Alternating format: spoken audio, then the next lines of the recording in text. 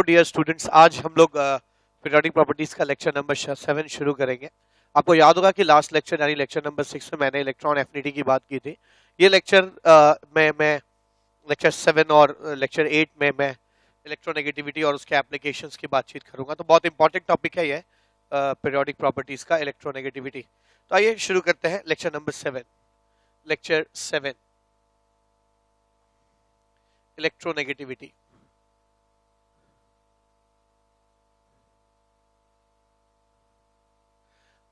electronegativity क्या होता है इसको समझा जाए?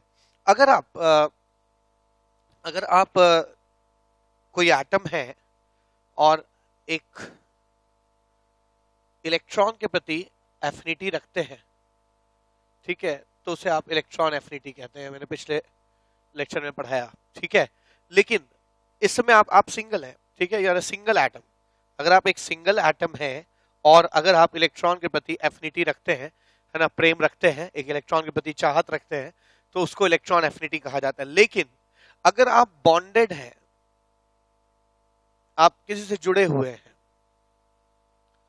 दोनों ने एक एक इलेक्ट्रॉन रखा हुआ है, आप किसी से जुड़े हुए हैं, और इस जुड़े हुए इलेक्ट्रॉन के प्रति एफिनिटी रखना अट्रैक्शन रखना, ठीक है? शेयर्ड पेयर ऑफ़ इलेक्ट्रॉन को अपनी तरफ़ खींचने की टेंडेंसी रखना इसको इलेक्ट्रोनेगेटिविटी कहते हैं, ठीक है? दिस इज़ कॉल्ड इलेक्ट्रोनेगेटिविटी तो दोनों में थोड़ा सा ही अंतर है। टेंडेंसी एक ही है दोनों की। दोनों के पीछे मूलभूत कारण भी एक ही है। न्यूक्लियस का अट्रैक्शन है।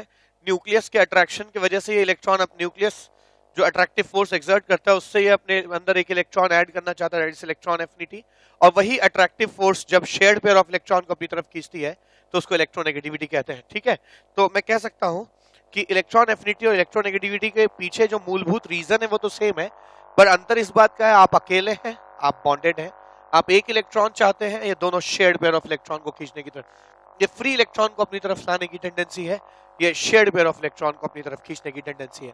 तो मैं कह सकता हूँ electronegativity is tendency is tendency to attract is tendency to attract a shared pair of electron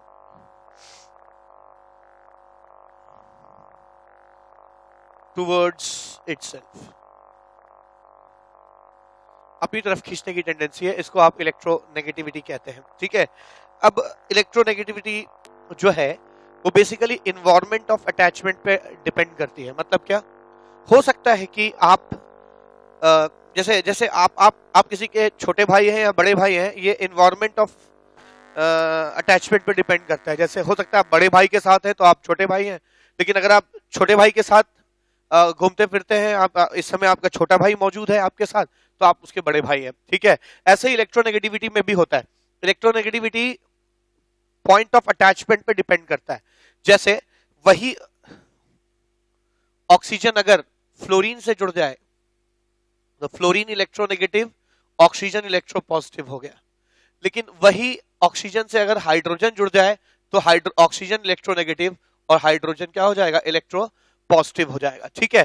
तो एक चीज़ और सीखी क्या मैंने? Apart from the definition of electronegativity है ना? इलेक्ट्रोनेगेटिविटी के डेफिनेशन के अपार्ट एक चीज़ और सीखा मैंने। मैंने सीखा क्या? कि इलेक्ट्रोनेगेटिविटी एक वेरिएबल फेनोमेना है। ठीक है? ये ये फिक्स नहीं होती है। आपकी, आप आप, आपकी इलेक्ट्रोनेगेटिविटी फिक्स नहीं है। आपकी electronegativity depend is a relative phenomena आप किससे जुड़े हुए हैं, उस पर डिपेंड करता है। आप इलेक्ट्रोनेगेटिव से जुड़े हैं तो आप इलेक्ट्रो पॉजिटिव है। आप एक इलेक्ट्रो पॉजिटिव से जुड़े हैं तो आप इलेक्ट्रोनेगेटिव वही ऑक्सीजन अलग अलग सिचुएशन में इलेक्ट्रो पॉजिटिव और इलेक्ट्रोनेगेटिव हो सकता है। ठीक है? तो मैंने क्या सीखा यहाँ पे? मैंने सीखा कि electronegativity is a variable phenomena and depends on environment of attachment and depends on environment environment of attachment ठीक है इन्वायरमेंट ऑफ़ अटैचमेंट पे डिपेंड करता है जैसा कि हमने देखा कि इलेक्ट्रोनेगेटिविटी एक वेरिएबल फेनोमेना है और डिपेंड करता है कि आप किससे जुड़े हुए हैं लेकिन अगर हम इस कॉन्सेप्ट को लेके चलेंगे तो केमिस्ट्री पढ़ना मुश्किल हो जाएगा, ठीक है? तो अपनी कन्वीनियंस के लिए, अपनी इजीनेस के लिए हम क्या करते हैं? हम लोगों ने, इंसान ने इलेक्ट्रोनेगेटिविटी को कांस्टेंट मान लिया, ठीक है? तो एक चीज़ ये बहुत इंपॉर्टेंट है क्या?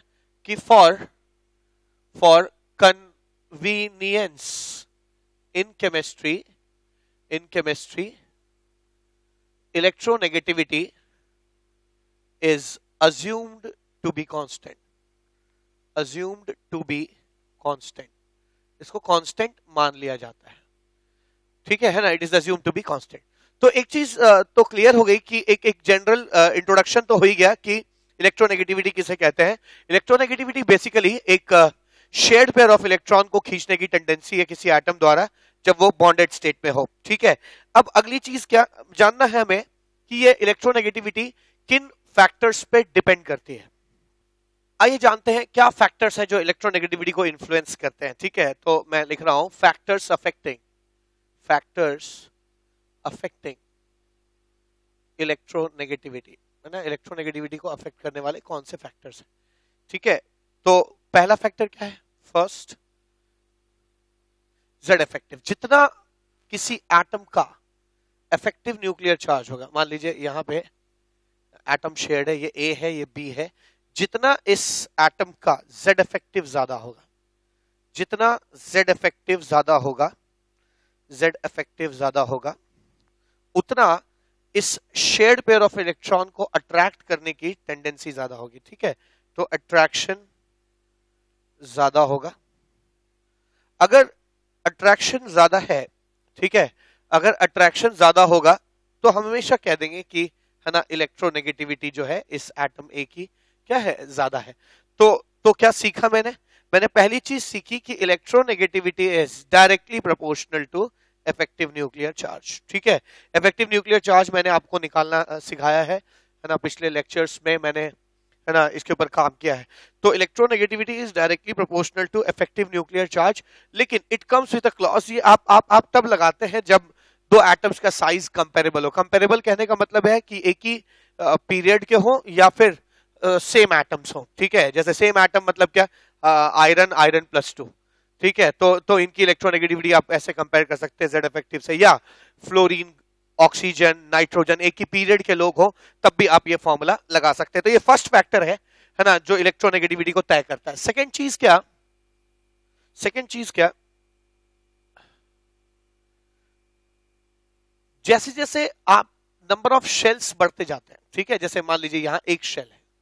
इसने बॉन्डिंग किया हुआ है। ये एटम ए है। एक और एटम है जिसमें दो शेल है और इसने सेम एटम से बॉन्डिंग की हुई है। तो ज़ाहिर सी बात है कि ज़ाहिर सी बात है कि जैसे जैसे नंबर ऑफ़ शेल्स बढ़ते जाएँगे, ठीक है? नंबर ऑफ़ शेल्स बढ़ते जाएँगे, यहाँ कम बढ़, कम शेल्स है। जैसे जैसे नंबर ऑफ़ शेल्स बढ़ते जाएँगे, इनके बीच की दूरी क्या होती जाएगी? बढ़ती जाएगी। और आपको मालूम है कि अल्टीमेटली न्यूक्लियस इस इलेक्ट्रॉन को कुलंबिक फोर्स से ही खींच रहा है। ठीक है? और कुलंबिक फोर्स जो है, वो चार्ज के प्रोडक्ट के अलावा they are inversely proportional to square of the distance between them तो जैसे जैसे इनके बीच की दूरी बढ़ती जाएगी, इनके बीच का अट्रैक्शन घटता जाएगा और हम इसे इलेक्ट्रोनेगेटिविटी में क्या कहेंगे? केमिस्ट्री में क्या कहेंगे कि इस एटम की इलेक्ट्रोनेगेटिविटी क्या हो रही है? घट रही है। ठीक है? तो मैं कह सकता हूँ कि as as number of shells number of shells increases as the number of shells increases ठीक है है ना distance distance between nucleus and shared electron increases shared electron increases और जैसे जैसे इनके बीच की दूरी क्या होती जाएगी बढ़ती जाएगी ठीक है दूरी बढ़ती जाएगी अट्रैक्शन इनके बीच का डिक्रीज करता जाएगा और जैसे ही अट्रैक्शन डिक्रीज करेगा, हम कह सकते हैं कि इनकी इलेक्ट्रोनेगेटिविटी क्या होती जाएगी? कम होती जाएगी। तो मैंने देखा कि जैसे जैसे नंबर ऑफ़ शेल्स बढ़ते जाएँगे इलेक्ट्रोनेगेटिविटी घटती जाएगी। मैं कह सकता हूँ यहाँ पर कि, है ना, सारांश क्या है? सारांश यह है कि electronegativity is inversely proportional to number of shells ठीक है? नंबर ऑफ़ शेल्स के इनवर्सली प्रोपोर्शनल हो जाएगा। शर्त यह है कि साइज़ में चाहिए। ठीक है? तो अक्सर ये अभी मैं आगे बताऊँगा कि जब भी ग्रुप में नीचे आते जाएँगे हम लोग तो नंबर ऑफ़ शेल्स बढ़ते जाएँगे तो इलेक्ट्रोनेगेटिविटी घटती जाएगी। जबकि अगर नंबर ऑफ़ शेल्स सेम है, अगर साइज़ लगभग क्या है सेम है तो इलेक्ट्रोनेगेटिविटी पूरी तरह से जेड इफ़ेक्टिव पे डिपेंड करेगी। ठीक है? तो एक चीज़ तो ये हो गया। और क्या? तीसरा पॉइंट क्या है? तीसरी बात। तीसरी बात है, कई बार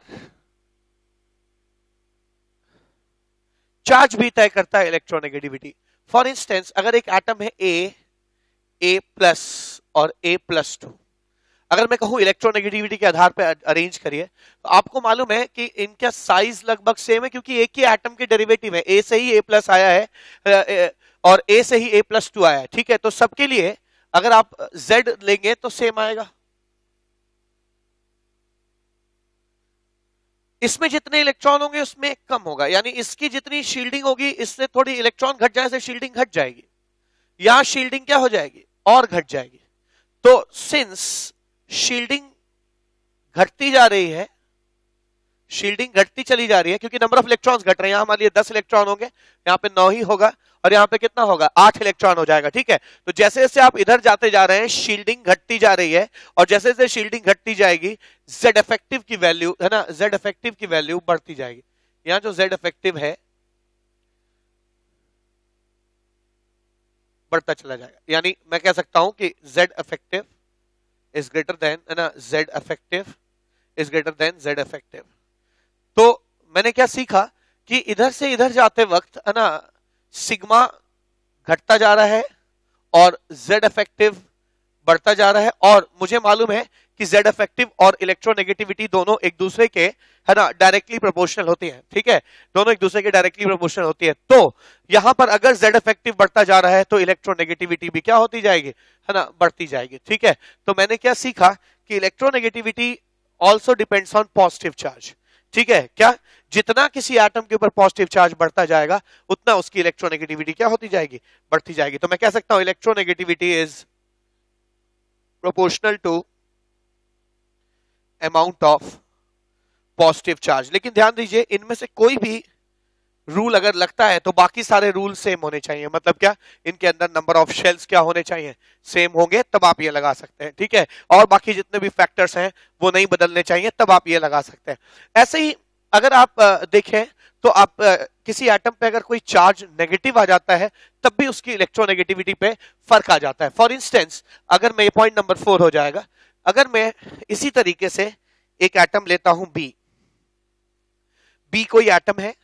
Fourth point B B minus B B minus B minus two ठीक है? आप देख सकते हैं, ये सेम एटम से डिराइव्ड लोग हैं।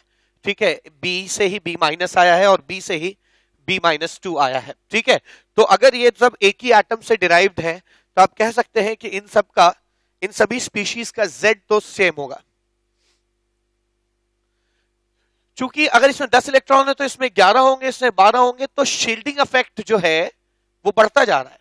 ठीक है? क्योंकि जितने ज़्यादा इलेक्ट्रॉन होते हैं, उतना ज़्यादा शील्डिंग होगी।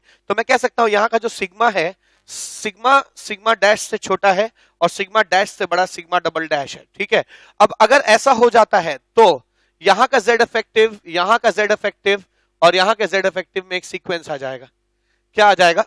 ठीक है? है ना? जितना, जब ये सिग्मा था जैसे जैसे सिग्मा बढ़ता जा रहा है, बड़ी चीज़ घटती जाएगी तो इसकी वैल्यू छोटी होती जाएगी। मैं कह सकता हूँ कि जेड इफ़ेक्टिव सबसे बड़ा होगा इससे और ये इससे बड़ा हो जाएगा। तो जैसे जैसे मैं इधर जा रहा हूँ जेड इफ़ेक्टिव बढ़ता जा रहा है और जेड इफ़ेक्टिव बढ़ता जाएगा सॉरी जेड इफ़ेक्टिव घटता जा रहा है और जैसे जैसे जेड इफ़ेक्टिव घटता जाएगा, वैसे वैसे इलेक्ट्रोनेगेटिविटी भी क्या होती जाएगी, घटती जाएगी। तो यहाँ पर मुझे एक और चीज़ सीखने को मिली क्या? कि electronegativity is inversely proportional to negative charge जितना नेगेटिव चार्ज जितना नेगेटिव चार्ज ज़्यादा होगा, उतनी इलेक्ट्रोनेगेटिविटी क्या होगी? कम हो जाएगी। ठीक है? कम हो जाएगी। तो एक चीज़ तो ये हो गया। अगली चीज़ क्या? पांचवी और आखिरी बात है इलेक्ट्रोनेगेटिविटी कहीं ना कहीं एस कैरेक्टर पे भी डिपेंड करती है। अब इसको भी अच्छे से समझा जाए एस कैरेक्टर क्या होता है? ठीक है एस कैरेक्टर पे कैसे चीज़ें डिपेंड करती हैं। आप जानते हैं कि हाइब्रिडाइजेशन जो होता है फॉर इंस्टेंस है ना एक एक एटम है एस जिसमें एक कार्बन एटम है जिसका हाइब्रिडाइजेशन uh, एसपी है। तो व्यूवर्स अगर हाइब्रिडाइजेशन नहीं समझते हैं तो उनको थोड़ी सी यहाँ पे उन स्टूडेंट्स को दिक्कत होगी जो हाइब्रिडाइजेशन नहीं समझते हैं। अगर आप नहीं समझते हैं तो मैं आपको रिक्वेस्ट करूँगा कि आप केमिकल बॉन्डिंग के लेक्चर्स देखिए कि हाइब्रिडाइजेशन किसे कहते हैं। हाइब्रिडाइजेशन जो समझते हैं, उनके लिए ये पॉइंट उनको समझ में आएगा। जैसे जैसे देखिए एसपी हाइब्रिडाइजेशन का मतलब होता है कि एक एस और एक पी ऑर्बिटल का मिक्स हो जाना। एक एस और एक पी देखिए पी तीन होते हैं पी एक्स वाई जेड तो अगर दो लोग मिलकर दो ऑर्बिटल बना रहे हैं तो दोनों को, दोनों के मिक्सचर को एसपी एसपी कहेंगे। एक भाग एस का, एक भाग पी का। एक एस का, एक पी का। दो दो हाइब्रिडाइज ऑर्बिटल बन रहे हैं। अब अगर इसमें 50 परसेंट एस कैरेक्टर है, ठीक है तो एस अक्सर छोटे ऑर्बिटल्स होते हैं पी बड़े होते हैं। तो अगर छोटे ऑर्बिटल का अंश 50 परसेंट है तो छोटे ऑर्बिटल का कैरेक्टर भी ज़्यादा होगा। ठीक है मतलब क्या? अगर एस कैरेक्टर ज़्यादा है तो एस का कैरेक्टर भी ज़्यादा होगा। मतलब क्या? कि अगर एस का परसेंटेज ज़्यादा है तो एस होते हैं छोटे। तो उनका अंश भी यहाँ आ जाएगा तो ये, ये चीज़ छोटी हो जाएगी। तो एस कैरेक्टर ज़्यादा होने से छोटे ऑर्बिटल का अंश ज़्यादा होने से एसपी हाइब्रिडाइज्ड ऑर्बिटल छोटा होगा। ठीक है? इसी तरह से अगर आप sp2 ले लेंगे तो वो थोड़ा सा बड़ा होगा। क्यों? क्योंकि sp2 ऑर्बिटल में तीन ऑर्बिटल में से एक ही s है। ठीक है? यानी छोटे ऑर्बिटल का परसेंटेज घट गया। बड़े ऑर्बिटल का परसेंटेज बढ़ गया। बड़े ऑर्बिटल का परसेंटेज अगर बढ़ जाता है तो ऑर्बिटल भी बड़ा हो जाएगा। ठीक है, ऐसे ही sp3 में s का परसेंटेज और घट गया, सिर्फ़ 25 परसेंट हो गया। बड़े ऑर्बिटल का परसेंटेज 75 हो गया। तो बड़े ऑर्बिटल का परसेंटेज पहले 50 था, अब 67.67 था, फिर 75 हो गया। बड़े ऑर्बिटल का परसेंटेज अगर बढ़ता जाएगा हाइब्रिडाइज ऑर्बिटल में तो साइज़ भी ऑर्बिटल का बढ़ता चला जाएगा, ठीक है? अब इसमें अगर मैं एक एटम लेता हूँ, मान लीजिए हाइड्रोजन है, यहाँ हाइड्रोजन है, यहाँ हाइड्रोजन है। अगर हाइड्रोजन में एक शेड पेयर ऑफ़ इलेक्ट्रॉन है, मान लीजिए रहा ठीक है? यहाँ शेयर्ड इलेक्ट्रॉन्स है। अगर आप हाइड्रोजन से पूछे, या हाइड्रोजन से पूछा जाएगा कि आपको सबसे ज़्यादा अट्रैक्शन कहाँ महसूस हो रहा है तो हाइड्रोजन का जवाब आएगा कि मेरे इलेक्ट्रॉन को सबसे ज़्यादा यहाँ खींचा जा रहा है। इस जगह पे खींचा जा रहा है। इससे कम यहाँ, इससे कम यहाँ। वजह क्या है? डिस्टेंस डिस्टेंस छोटा है। डिस्टेंस कम होने से न्यू इसके कार्बन के न्यूक्लियस द्वारा जो अट्रैक्टिव फोर्स प्रोड्यूस किया जा रहा है, वो ज़्यादा होगा। ठीक है? क्योंकि है तो ये कोलंबिक फोर्स और कोलंबिक फोर्स जो है है ना डिस्टेंस के स्क्वायर के इन्वर्सली प्रोपोर्शनल होते हैं। ठीक है? तो मैंने यहाँ पे क्या सीखा कि अगर एटम सेम हो जाए, अगर एटम्स बदले नहीं सेम हो जाए सेम एटम्स अगर हो तो मैं देख रहा हूँ कि जैसे जैसे एस कैरेक्टर कैरेक्टर घट रहा है, जैसे जैसे एस कैरेक्टर घट रहा है, वैसे वैसे, जैसे जैसे एस कैरेक्टर घटता जा रहा है, वैसे वैसे ऑर्बिटल का जो साइज़ है है ना ऑर्बिटल का जो साइज़ है, वो बढ़ता जा रहा है। और जैसे जैसे ऑर्बिटल का साइज़ बढ़ता जाता है न्यूक्लियस और उस इलेक्ट्रॉन के बीच की दूरी क्या होती जाती है? बढ़ती जाती है ना? Distance between nucleus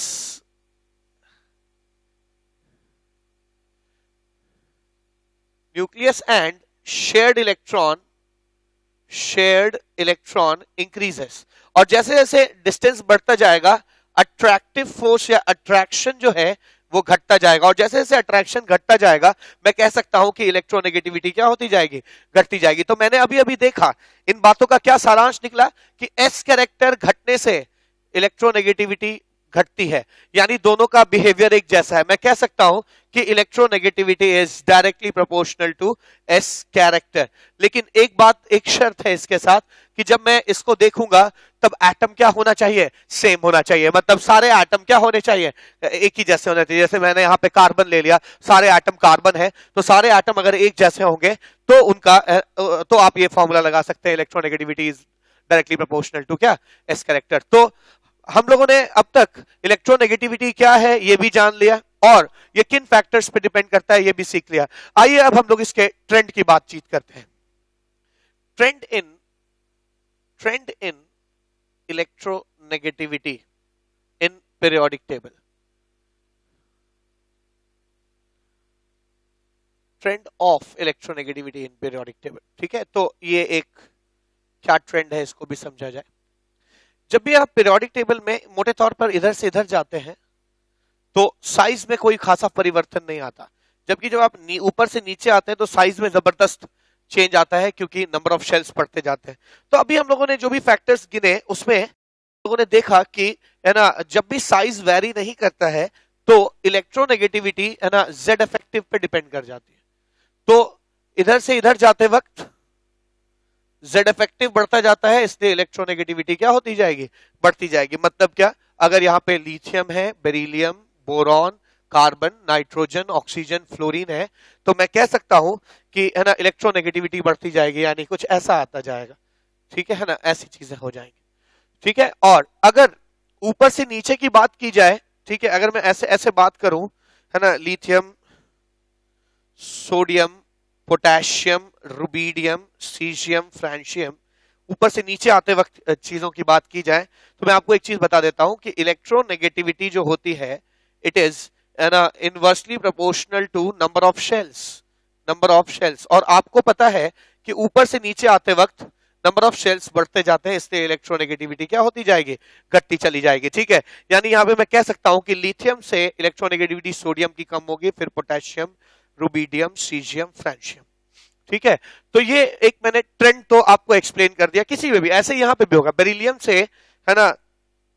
Beryllium magnesium calcium strontium barium है ना? और रेडियम अगर है तो मैं कह सकता हूँ कि बेरिलियम से मैग्नीशियम में ऐसा, ये ट्रेंड आ जाएगा। ठीक है? इलेक्ट्रोनेगेटिविटी का ऐसा ही ट्रेंड होगा। तो बोरॉन में भी ऐसा ही ट्रेंड आ जाएगा बोरॉन फैमिली में भी। ठीक है? तो ये हमने एक ट्रेंड देख लिया। अब बात इलेक्ट्रोनेगेटिविटी की वैल्यू की की जाए। मैंने अभी आपको थोड़ी देर पहले बताया कि इलेक्ट्रोनेगेटिविटी को एक कांस्टेंट फेनोमेना नहीं it is variable it invariably depends on the environment of attachment आप किससे जुड़े हैं, इस चीज़ पर डिपेंड करती है इलेक्ट्रोनेगेटिविटी तो इलेक्ट्रोनेगेटिविटी को आप कैलकुलेट आसानी से नहीं कर सकते क्योंकि कांस्टेंट नहीं है। लेकिन केमिस्ट्री में कन्वीनियंस के लिए हमने उनको क्या, उसको क्या मान रखा है? हाँ कांस्टेंट मान रखा है।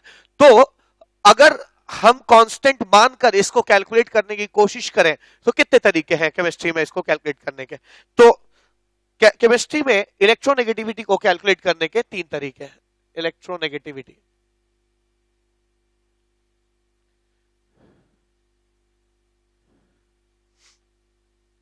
इलेक्ट्रोनेगेटिविटी के तीन तरीके हैं. पहला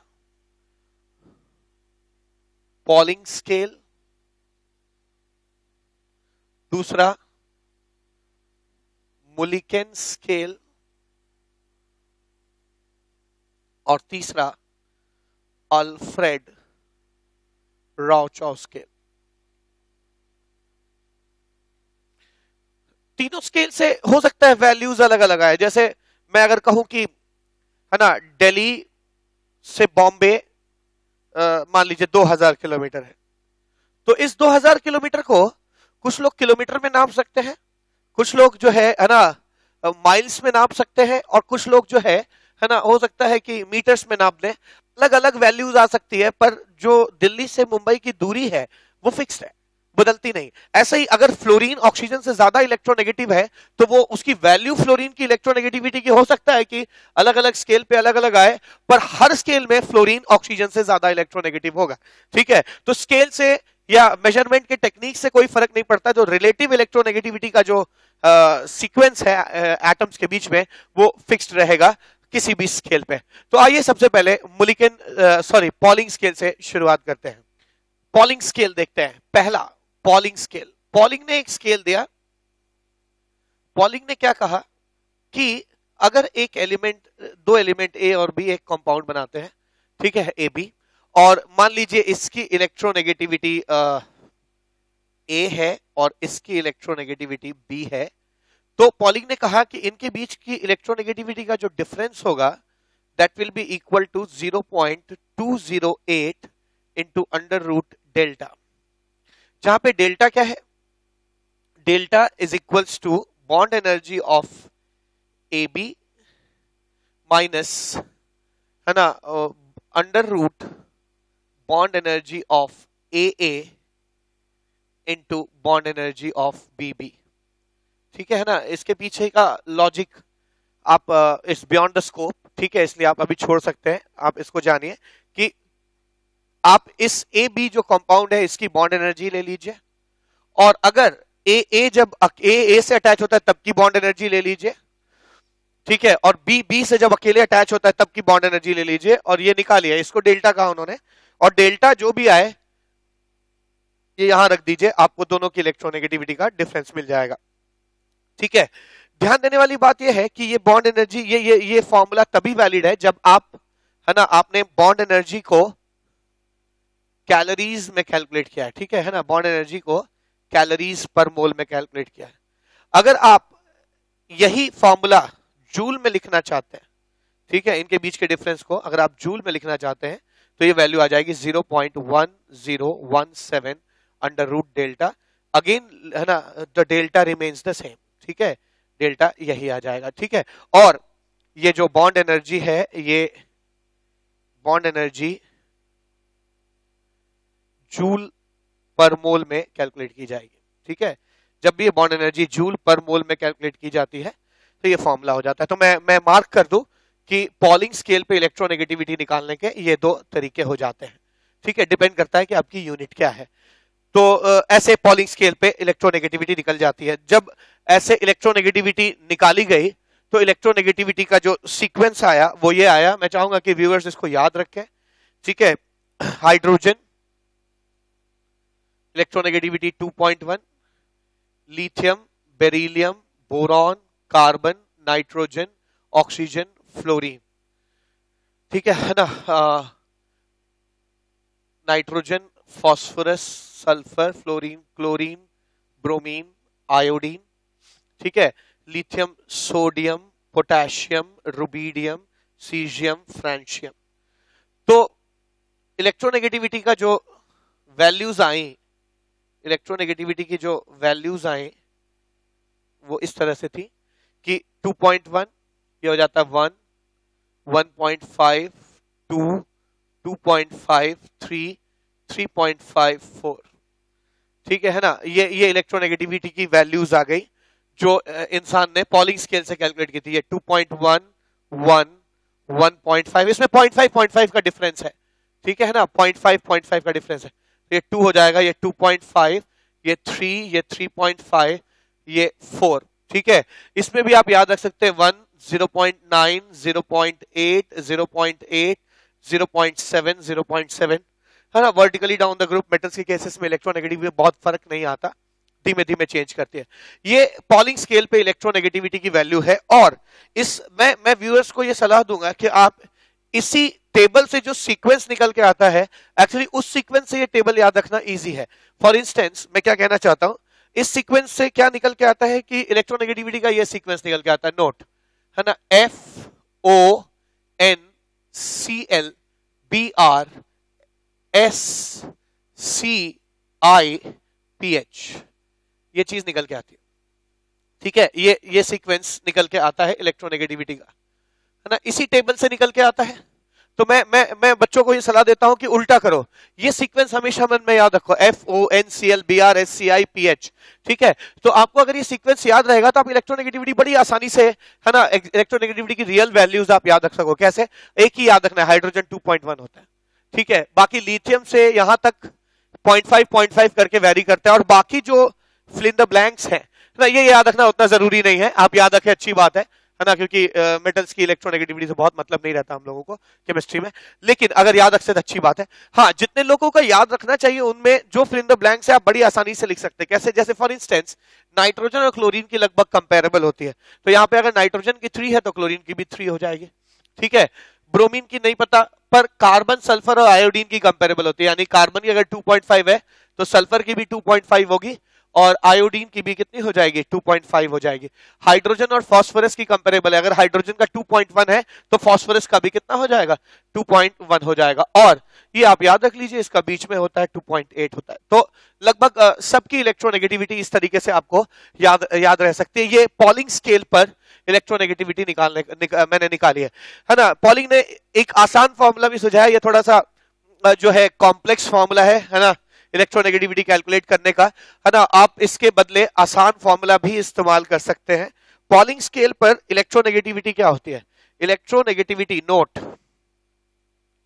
electronegativity of any atom X on Pauling scale is equal to its ionization energy in electron volt plus है ना electron affinity in electron volt divide by है ना 5.6 ये इलेक्ट्रोनेगेटिविटी हो जाती है किसी भी चीज़ एक्स की। है ना पॉलिंग स्केल पे। तो आप ऐसा मान के चलिए कि ये जो जो भी वैल्यूज़ कैलकुलेट की गई है, वो इस फॉर्मूले से निकल आएँगी, ठीक है? जैसे हाइड्रोजन की अगर आप आयनाइजेशन एनर्जी और इलेक्ट्रॉन एफिनिटी जोड़कर 5.6 से डिवाइड करेंगे तो वैल्यू जो है 2.1 आ जाएगी, ठीक है? तो ये आपका पॉलिंग स्केल हो गया। आइए मुलिकन स्केल देखते हैं। मुलिकन स्केल मुलिकन स्केल क्या होता है? समझा जाए। मुलिकन ने पॉलिंग स्केल को और आसान कर दिया। मुलिकन ने बहुत ही आसानी से, है ना इलेक्ट्रोनिक मुलिकन ने पॉली स्केल को आसान नहीं किया आई एम सॉरी मुलिकन ने इलेक्ट्रोनेगेटिविटी के कैलकुलेशन को बहुत इजी कर दिया। मुलिकन ने कहा कि किसी भी चीज़ की इलेक्ट्रोनेगेटिविटी अगर आप निकालना चाहते हैं, मान लीजिए एक्स एटम है, इसकी आप इलेक्ट्रोनेगेटिविटी निकालना चाहते हैं तो कुछ नहीं करना आपको। इसकी आयनाइजेशन एनर्जी इलेक्ट्रॉन वोल्ट्स में ले लीजिए, और इसकी इलेक्ट्रॉन एफिनिटी इलेक्ट्रॉन वोल्ट्स में ले लीजिए, और उसको टू से उसका एवरेज ले लीजिए। ये जो निकल के आएगा, ये इलेक्ट्रोनेगेटिविटी आपका, है ना मुलिकन स्केल पे आ जाएगा, ठीक है? तो this is electronegativity in Mulliken scale Mulliken scale पे है। अगर आप इलेक्ट्रोनेगेटिविटी पॉलिंग स्केल पे निकालते हैं तो कुछ कुछ ऐसा ही आता है इलेक्ट्रोनेगेटिविटी ऑन पॉलिंग स्केल ठीक है? ये मुलिकन स्केल था। अगर आप पॉलिंग स्केल पे निकालेंगे तो भी आ जाएगा। कैसे आ जाएगा? Ionization energy ionization energy in electron volts plus electron affinity in electron volts by 5.6 ठीक है 5.6 ये ये इलेक्ट्रोनेगेटिविटी ऑन पॉलिंग स्केल आ गया। ठीक है, अगर आप इन दोनों को डिवाइड कर दीजिए, इन दोनों को डिवाइड करिए तो क्या मिलेगा? Electronegativity of anything on Mulliken scale on Mulliken scale by electronegativity of anything on on Pauling scale Pauling scale is equal to ठीक है on Pauling scale is equal to आप जब इन दोनों को डिवाइड करेंगे तो this and this gets cancelled out this is this this and this is like 2.8 2.8 goes up so it's like 2.8 और आप कह सकते हैं कि, है ना मोलिकन स्केल और पॉलिंग स्केल में इलेक्ट्रोनेगेटिविटी का जो भी डिफरेंस आया है, आप कह सकते हैं कि electronegativity on Pauling scale electronegativity of X on Pauling scale is equal to ये किताब में मिल जाएगा आपको Pauling scale is equal to इन दोनों को क्रॉस मल्टीप्लाई कर दीजिए electronegativity of X on Mulliken scale Mulliken scale divide by 2.8 so very very important formula एक बहुत ही इंपॉर्टेंट फॉर्मूला है, जो, है ना, दोनों स्केल्स के बीच में एक रिलेशनशिप भी स्टैब्लिश करता है। ठीक है? अब इसके आगे की बात। इसके आगे क्या बात हो सकती है? इसके आगे एक और स्केल है, वो है Alfred Rochow scale Alfred Rochow scale Alfred Rochow scale क्या कहता है? अल्फ्रेड राउचॉ स्केल कहता है अल्फ्रेड राउचॉ ने इलेक्ट्रोनेगेटिविटी को एक बिल्कुल नए अंदाज में बहुत ही ठेठ तरीके से बताया। उन्होंने कहा कि यार इलेक्ट्रोनेगेटिविटी बेसिकली एक कुलंबिक अट्रैक्शन है, ठीक है? है ना, एक कुलंबिक अट्रैक्शन है, एक अट्रैक्टिव फोर्स है है ना? तो यहाँ पे अगर कुलंबिक अट्रैक्शन ही है तो क्यों ना हम कुलंबिक अट्रैक्शन वाला फॉर्मूला लगा दे। ठीक है, मैं कह सकता हूँ कि जिस फोर्स से एक एटम एक्स खींचता है, वही फोर्स उसकी इलेक्ट्रोनेगेटिविटी हो जाएगी और कोई भी कुलंबिक फोर्स जो होता है, वो K into q one q two by क्या? आर स्क्वायर हो जाएगा। आर इसके बीच का डिस्टेंस ले लिए तो आर स्क्वायर हो गया। चार्ज कितना है? एक इस इलेक्ट्रॉन का चार्ज ई e है और इस न्यूक्लियस का चार्ज क्या है? जेड इफ़ेक्टिव है। तो यहाँ पे आप जेड इफ़ेक्टिव ले लीजिए।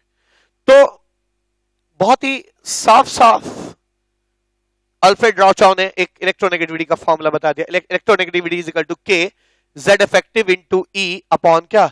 आर स्क्वायर ठीक है, ये अल्फ्रेड राउचो स्केल पे चीज़ें हैं। खैर एनसीआरटी बुक में ये नहीं दिया है। पिछली एनसीआरटी पुरानी एनसीआरटी बुक में था।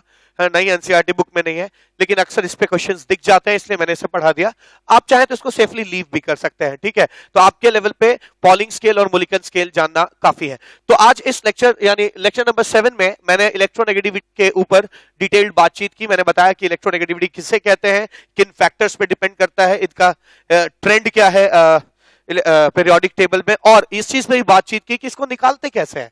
कौन कौन से स्केल है जिससे इसकी इसकी वैल्यू कैलकुलेट की जाती है? तो आज इस लेक्चर नंबर सेवन में इतना ही काम करेंगे। मिलेंगे अगले लेक्चर में तुम्हें बताऊँगा आपको कि कैसे इलेक्ट्रोनेगेटिविटी का क्या क्या एप्लीकेशन है और पीरियोडिक टेबल में जो जितनी प्रॉपर्टीज़ होती हैं, वो कैसे इलेक्ट्रोनेगेटिविटी के एप्लीकेशन से एक्सप्लेन की जा सकती है, जैसे nature of oxides nature of hydroxide etcetera तो जानने के लिए अगला लेक्चर देखिए, यानी लेक्चर नंबर एट देखिए। तब तक थैंक यू सो मच